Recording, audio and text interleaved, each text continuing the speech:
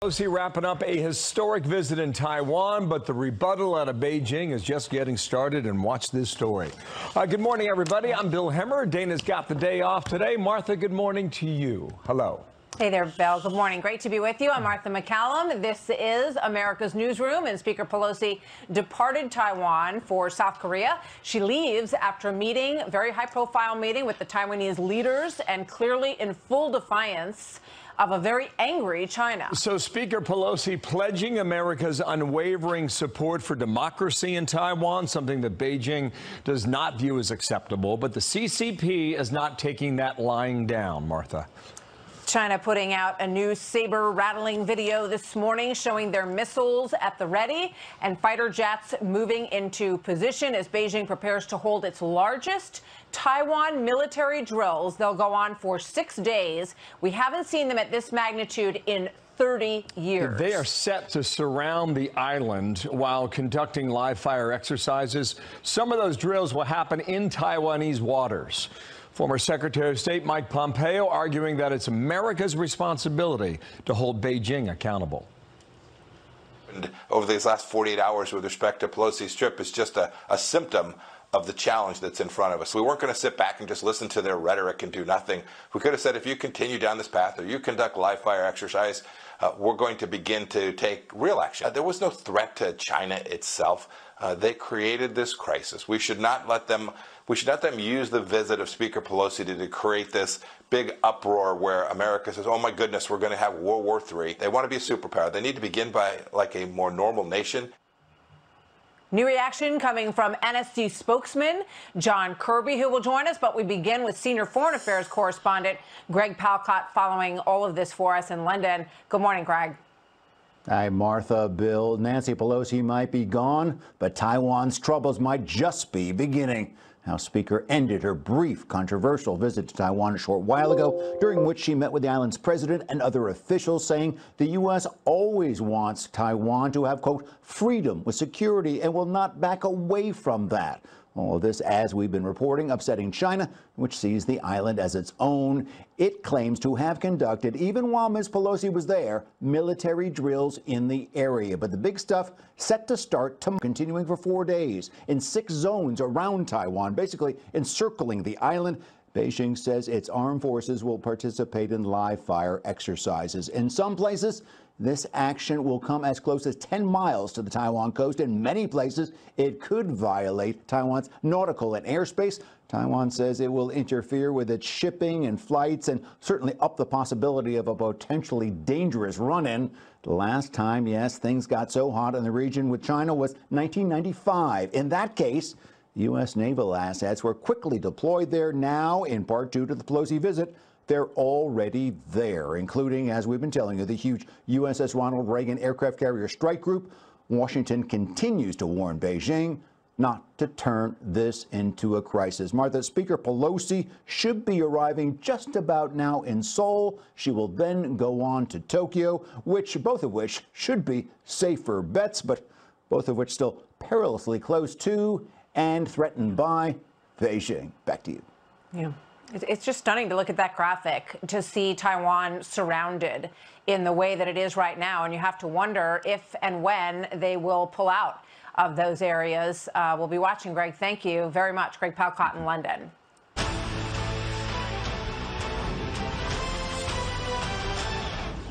The DCCC dropping a half million dollar ad buy to prop up my primary challenger with seven days to go uh, is not something that we would like to see. And I know a lot of even my Democratic colleagues in Washington have been outraged at just the, the cynicism and hypocrisy that that represented. Peter Meijer, he won his election two years ago, but now he has lost in his primary battle. He is one of 10 Republicans in the House who voted to impeach Donald Trump. And the president, former president, endorsed John Gibbs, and Gibbs has been a winner in that congressional district there in the state of Michigan from last night. Also from last night in Michigan, the governor's race, Tudor Dixon picked up a late endorsement by President Trump that happened on Friday of last week. She was an easy winner, it turns out, so the Republicans now have their candidate to go up against Gretchen Whitmer in November.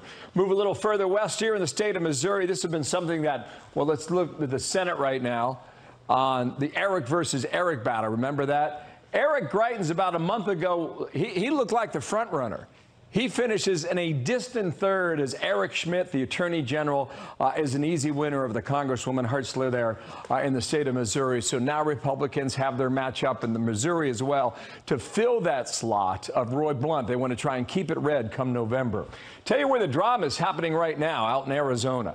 First of all, Blake Masters, endorsed by President Trump, is an easy winner here. You got about 82% of the vote counted so far in Arizona. Uh, this is Maricopa County, where Phoenix is. You have about 60% of Republican voters in Arizona vote in Maricopa County. You see that 39% figure? Just one of these little data points that we watch. He matched that number in that county alone to Maricopa, where you find Phoenix. It's something we watch here throughout the, uh, uh, the voting here. On the governor's race, this is really really where the drama is because this is too close to call. Right now, you've got Kari Lake, endorsed by President Trump, leading Karrin Taylor Robson, endorsed by Vice President Mike Pence, by about two points.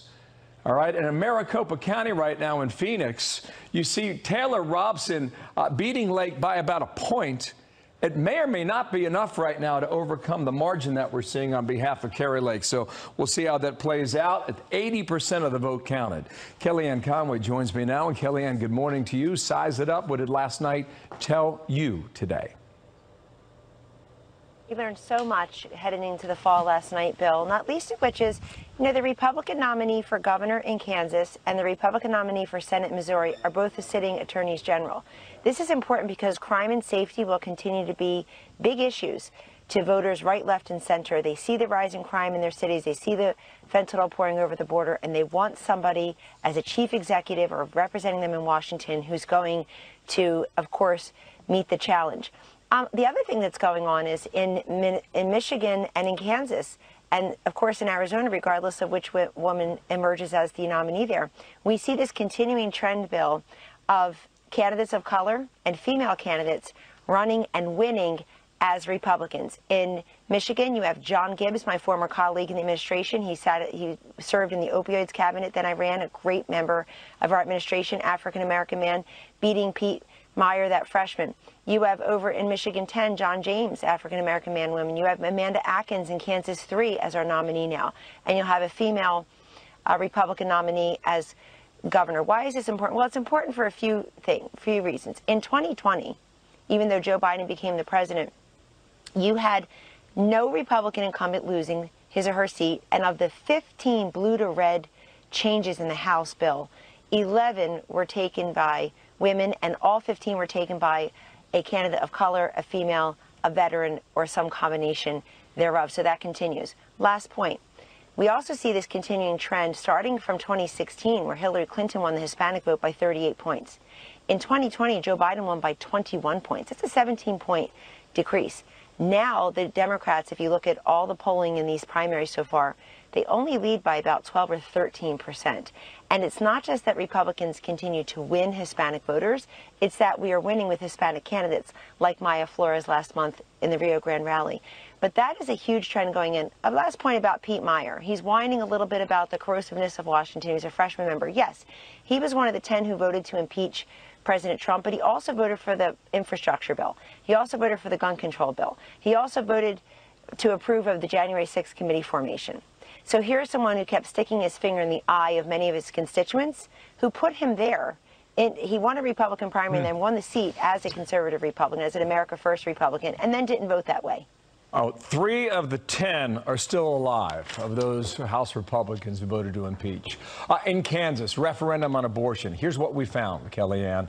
Surprised a lot of people. Kansas voters overwhelmingly vote to protect abortion rights in their constitution. 60 percent say no. What, what does that tell you coming on the heels of Roe v. Wade and the U.S. Supreme Court and maybe what it pretends for other states who might be doing something similar?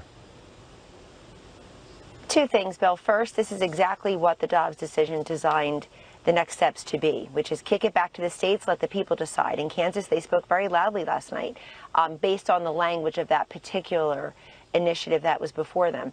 Um, secondly, it may be too soon. Emotions are raw, confusion is deep. Uh, you see that uh, Planned Parenthood, I, I, I, read last week, had a 40 a 40 fold increase in donations right after the Dobbs decision. So people are concerned that we've gone from all abortion, anyone, anytime, anywhere, essentially under Roe, to nothing in some of these states. So it may be a little too soon for that. I would point out to you, you know, everybody, uh, including on other networks, of course, lower rated networks, are lo- love to say today, oh, Kansas is a conservative state, it's a red state. Look, that's true, and it's not so true.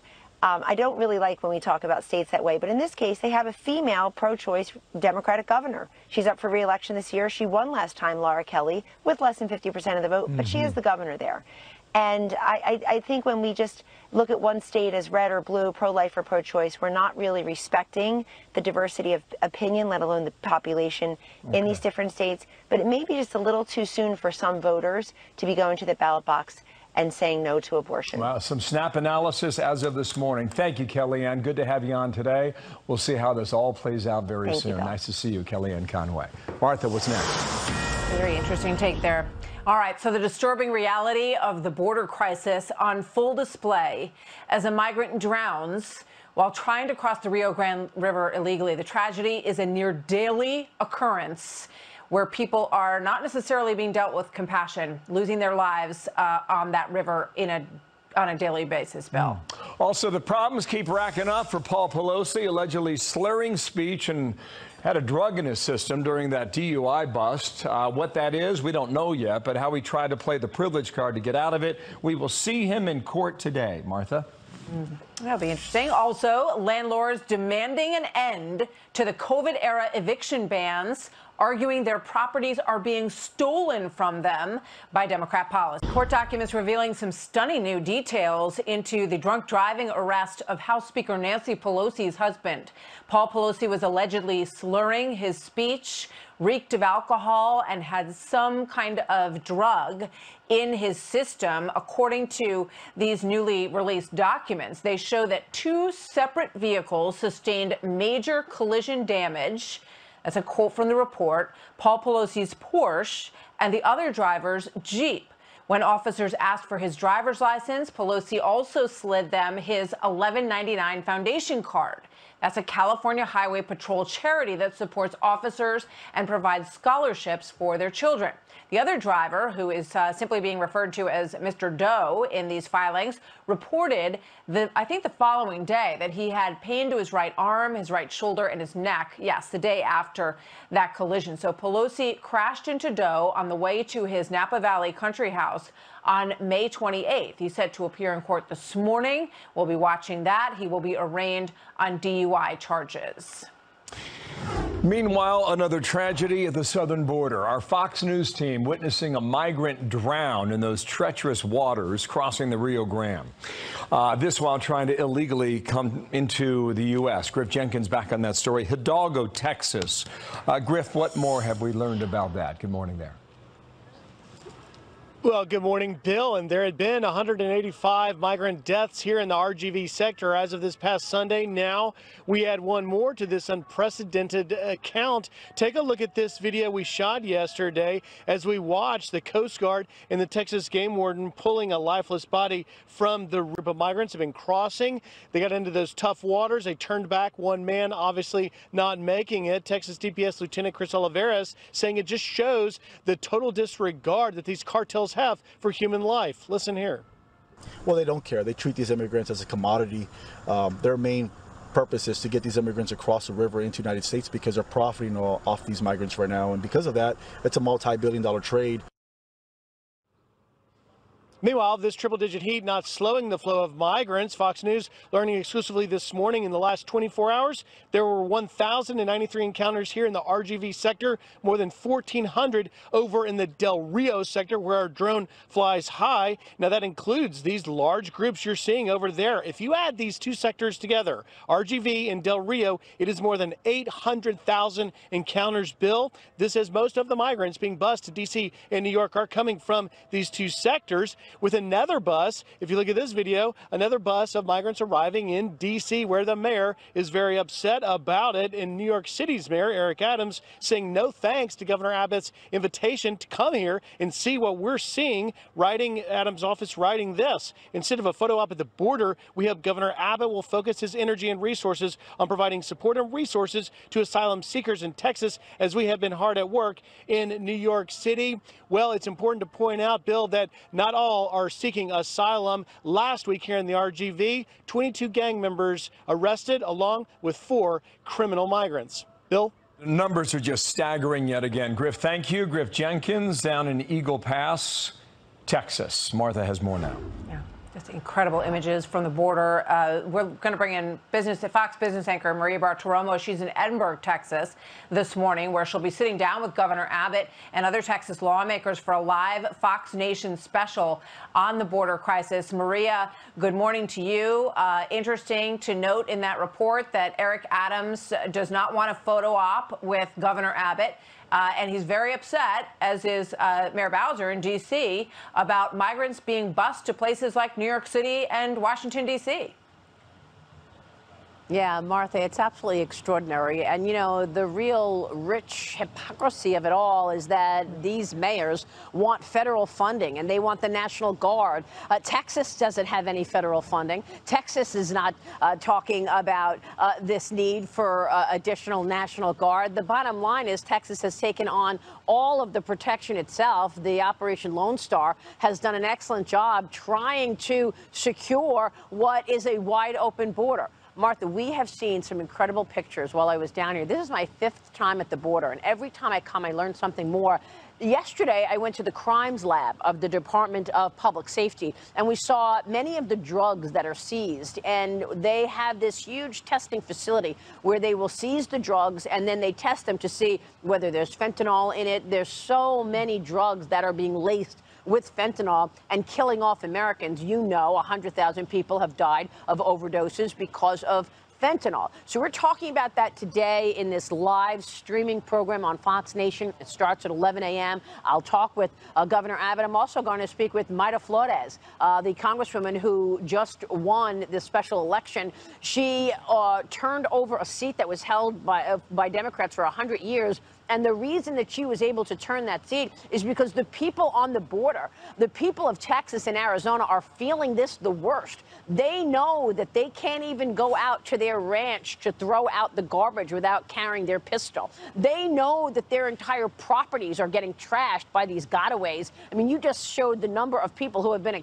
encountered. How about the people who are just getting away? That we know mm. some 900,000 people have gotten into the country where they're seen on surveillance video they don't have good intentions. If they had good intentions, then we would see them want to get encountered. Uh, not to mention the 50 people that have been on the terrorist watch list. So this is an enormous story. That's why we're covering it so much here at Fox News and Fox Business, because it's impacting every state, not just the border states. Yeah, it's such a great point, Maria. And, and I just want to go back to the point you made on the hypocrisy of Washington, D.C. and New York leadership endorsing essentially the federal policies on immigration, except not in their backyard, yeah. right? And as you point out, they want they That's want right. National Guard support where they are, and yet we've yeah. put this enormous burden on Texas and Arizona to deal with it on their own, uh, based on a federal policy that is imposed on them.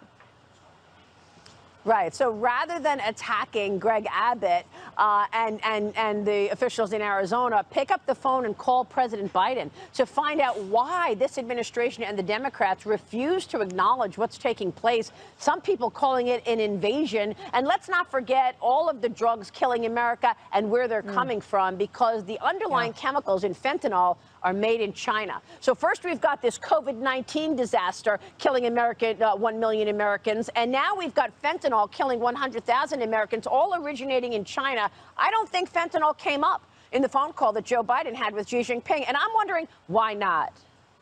Yeah, it's, it's a great question. I, I, remember President Trump pressing the Chinese president on exactly that That's issue, right. on why they were allowing fentanyl to come into the United States. And it should be something that all presidents can agree on is, is a huge security issue for our country.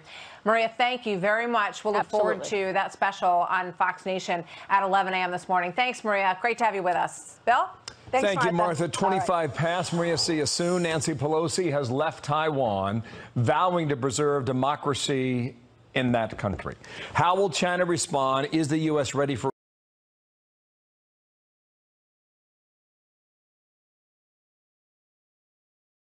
Laden's right hand man has been killed in a U.S. airstrike. Some fear that the next leader of Al Qaeda could become even more brutal in order to attract a new generation of terrorists. Joining us now, Brett Velicovich, former U.S. Army Special Operations soldier. Brett, great to have you with us. Good morning to you. Um, nice it, to it's see a very interesting point. Nice to see you too that you bring up here because this raises a lot of questions about who fills the void of Zawahiri. And although Al Qaeda has been uh, nearly decimated, this could be an opportunity to inspire a younger new generation of potential terrorists, right? Well, exactly. And I think we really have to take a close look at the factors of why Zawahiri was actually in Kabul. Who invited him there? Who did he meet with? Because this is a larger issue than just one man in Al Qaeda. This makes it extremely clear to me that Al Qaeda is back in Afghanistan and they have a level of protection from the Taliban. It still hasn't even been a year since we left. The administration previously assured us that the American people you know, were, were clear that Al Qaeda was no longer a threat there and that these elements were not in country and that there was no danger to the homeland. But he was there visiting his family in a residential area of former Afghan government officials. He was staying in the home of a known Haqqani leader. He felt so comfortable coming back to Afghanistan for some reason. It tells you that the environment there is very permissive for terrorists now. And you likely have other senior leaders in Al Qaeda and the Haqqani network, individuals who for years have been hiding out in Pakistan, out of reach in many cases, and now they're back. And I can only imagine how many other terrorists who have U.S. blood on their hands are, are simply coming back to Afghanistan? They're living there since the withdrawal of troops in the country. And so I really hope that, if anything, this strike hits pause on their thought that they can just operate without, you know, with, with impunity. I hope the strike sends a message um, to other leaders that even though we pulled out of Afghanistan, the U.S. isn't going to forget. They're paying close attention to these leaders. They're still being tracked down, and the U.S. government is not just going to forget about the hundreds of American soldiers who were killed at the hands of Al Qaeda and ISIS.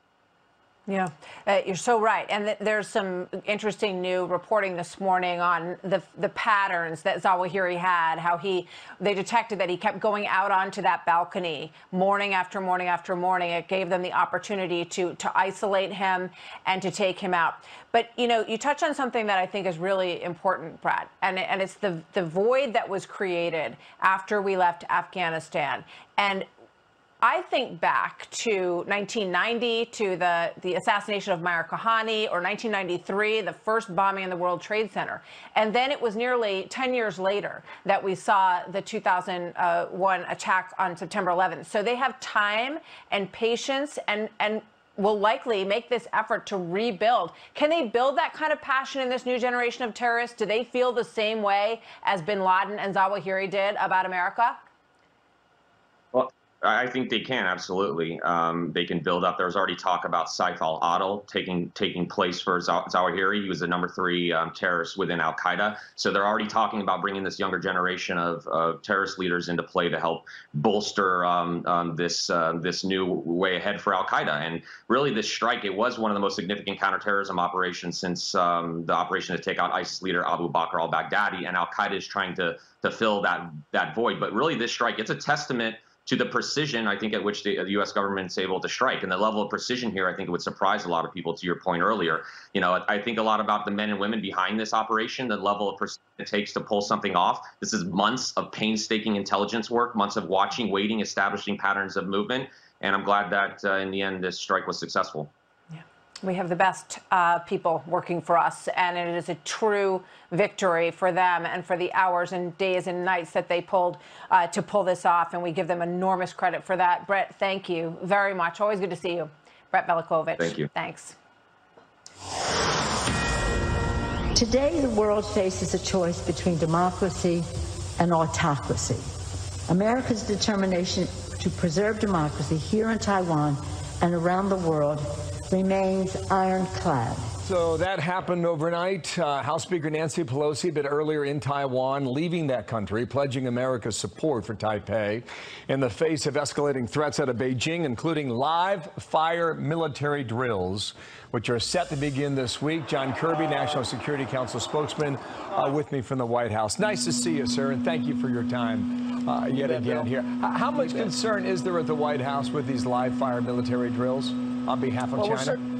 we're certainly watching them uh, as closely as we can. You might recall on Monday we said publicly that this is exactly what we would expect the Chinese to do uh, in the wake of or even during uh, Speaker Pelosi's uh, trip. So this is uh, pretty much uh, the playbook we expected. We'll be watching to see how they how they develop. again, we urge Beijing not to escalate the tensions. There's no reason to. Nothing about Speaker Pelosi's trip was inconsistent with uh, our longstanding approach to both uh, China and supporting Taiwan's self-defense. Okay, I, I believe, John, you used the words, we expect them, meaning China, to continue to react.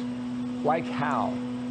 Well, I think, uh, as we said uh, a couple of days ago, we would expect to see military exercises. Uh, we might expect to see some air activity uh, across the median line in the Taiwan Strait. Uh, we might expect them to want to take economic measures. They've already announced a, a few.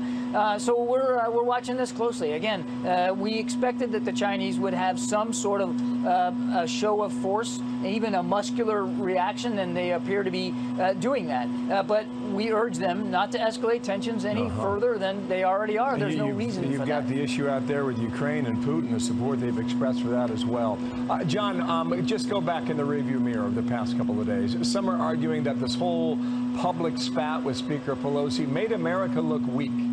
Could we not have handled that better, including from the White House?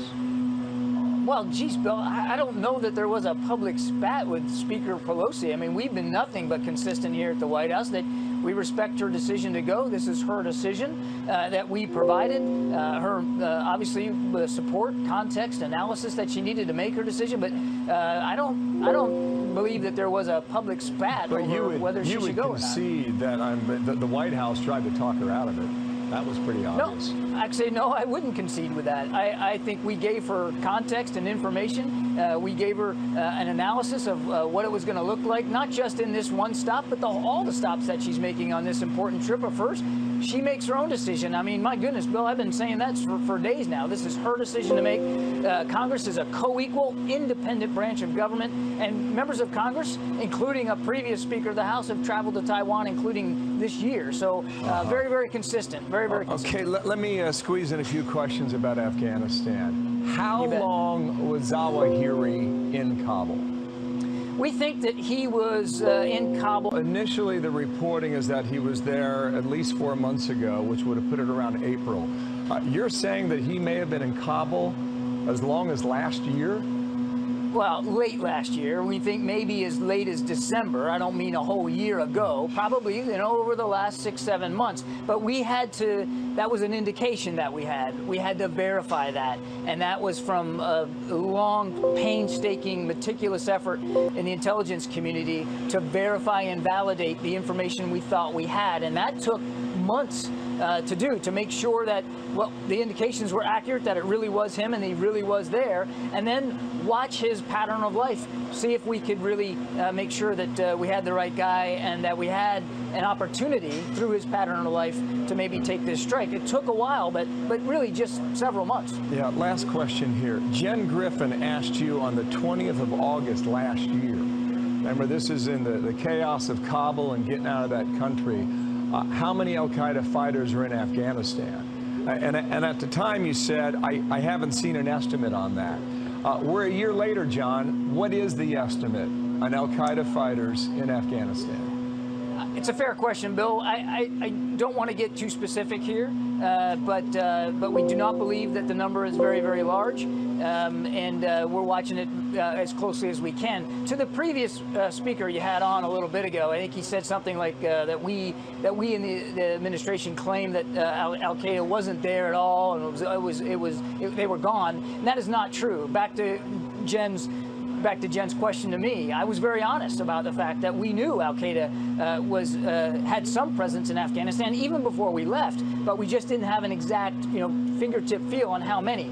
We're starting to get a little bit more information now over the course of this last year. Obviously, we have more information. We were able to take out Mr. Zawahiri, uh, but uh, we would not assess that the, the number is very, very large. John, please come back. Uh, I got a long list of questions, as you well know. We're out of time for today, but thank you for your time. John Kirby, Anytime, North Bill. Lawn. You bet. Yep, Thanks, you bet. Martha.